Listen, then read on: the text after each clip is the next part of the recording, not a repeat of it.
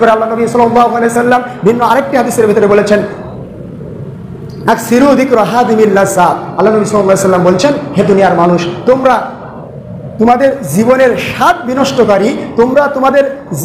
আনন্দকে, স্বাদকে বিনষ্টকারী বস্তুটির কথা বেশি বেশি স্মরণ করো। ইয়ানি আল মৌত আর সেটা হলো মৃত্যু, মরণ। এই মরণকে, মৃত্যুকে আপনাকে আমাকে বেশি বেশি স্মরণ করতে হবে। এই মৃত্যুর মরণের স্মরণ যদি আপনি আমি করি, তাহলে এর ফায়দা কি? এর উপকারিতা কি? মৃত্যুর স্মরণ যদি আপনার আমার মধ্যে সর্বসময় থাকে, সর্বক্ষেত্রে থাকে, সর্ব অবস্থায় থাকে, তাহলে আপনি আমি, আপনি যুবক মানুষ, আপনি একজন যুবক যৌবনের কারণায় আপনি অনেক গুনাহের কাজে ধাবিত হতে পারেন ইবলিশ শয়তান ধোকা দিতেই পারেন যদি আপনার আমার অন্তরে, যদি আপনার আমার ভিতরে সর্বদা মৃত্যুর কথা স্মরণ থাকে, তাহলে ইবলিশ শয়তান কিন্তু ধোকা দিতে পারবে না।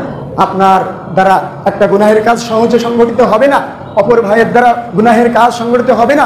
যখনই সে একটা গুনার দিকে পা বাড়াবে, একজন যুবক ভাই যখনই সে মদ গাঁজা খেয়ে সে মাতলামি করবে, সে নেশা করতে যাবে এমনি করে আপনার যত পরকিয়া বলেন, পরকিয়া প্রেমে আজকের সমাজ জর্জরিত।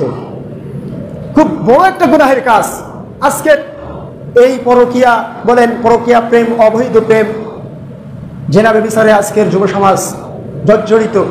এই ধরনের খারাপ গোনার কাছ থেকে যুব সমাজ ফিরে আসতে পারবে, দূরে থাকতে পারবে যদি মৃত্যুর কথা, মরণের কথা যদি সে বেশি বেশি স্মরণ করতে পারে সমেত হাজিরিন, যদি এই মৃত্যুর মরণের ভয় বা আল্লাহর ভয় আপনার আমার মধ্যে থাকে, তাহলে আপনি আমি পরিবর্তন হতে পারব তো আল্লাহ সুমন তালা আমাদের যুবক ভাই সহ যারা আমরা উপস্থিত আছি, সবাইকে সর্বদা সর্বসময়ের জন্য মৃত্যুকে স্মরণ করার তৌফিক দান করুন।